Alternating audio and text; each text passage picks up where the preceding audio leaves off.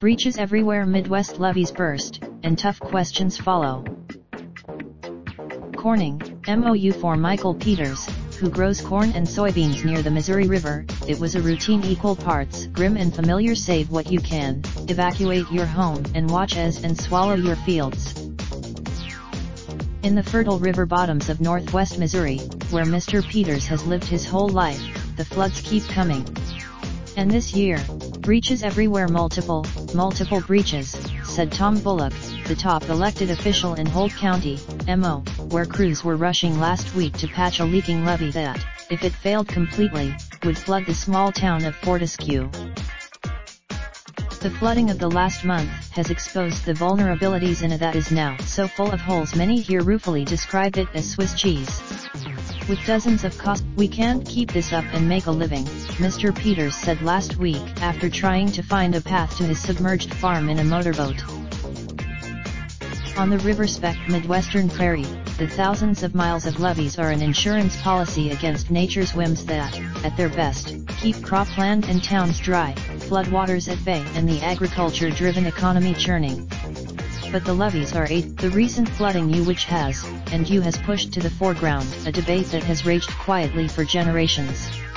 It boils down to, many of the levees, usually earthen and topped with grass, were built by farmers decades ago and are now managed by a patchwork of local government agencies known as levee districts that often do not coordinate or even follow the same rules. With increased flood, when the next one comes along bigger, they either fail or are overtopped again, said Nicholas Pinter, an expert on rivers and flooding at the University of California, Davis.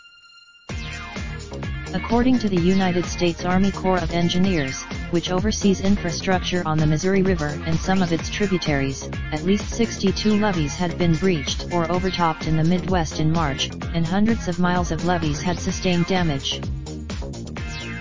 When they run water over the top of them, there's not anything you can do, said Pat Sheldon, the president of a rural levee district in southwest Iowa that was still paying off repairs from the 2011 flood. This time, in Missouri, Mr. Bullock pointed out a levee that last week had been split open and consumed by the river. A large log the Army Corps of Engineers, which helps determine water levels by operating a series of dams on the Missouri River, tries to balance the needs of many who use the rivers it manages, including farmers, barge shippers, endangered animal species and people who use the water for recreation. Those interests are, the Corps' number one priority in its operations is life safety, said Major General.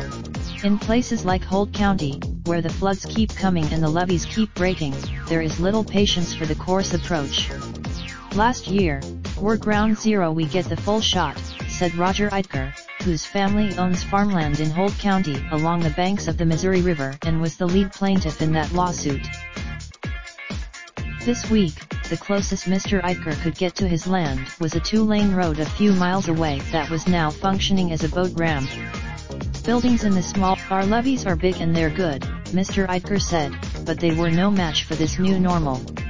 Every event seemed, the situation has been exacerbated by wetter rainstorms, which are expected to worsen over time and have been attributed to there are layers that come together when big events like this happen you it's never just one thing, said Barbara Mayes Boustead, a meteorologist with the National Weather Service who contributed to it on climate change.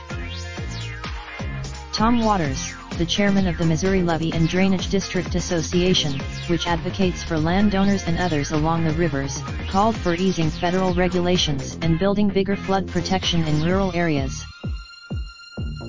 We're seeing more water in the river, but we haven't improved the infrastructure, said Mr. Waters, who farms along the Missouri River east of Kansas City, MO. Basically, but building ever higher levees is not a panacea keeping water out of one area only means it will go somewhere else. In the early 20th century, the Army Corps of Engineers and towns along the Mississippi River followed a levees-only policy that meant building higher and higher walls, leaving the river no way to release its power.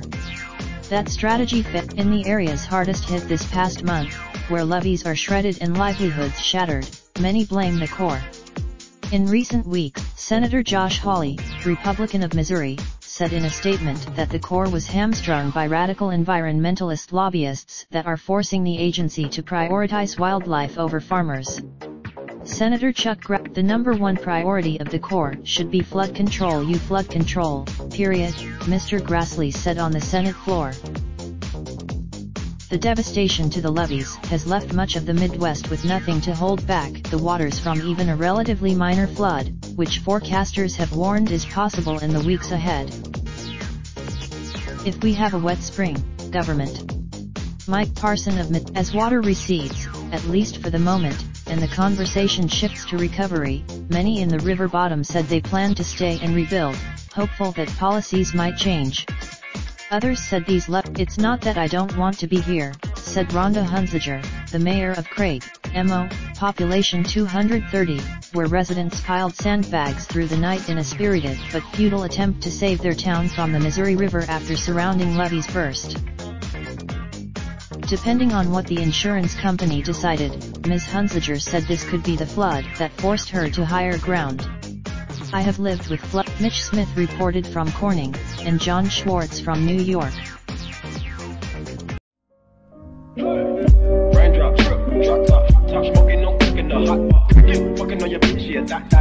Looking up, open the park.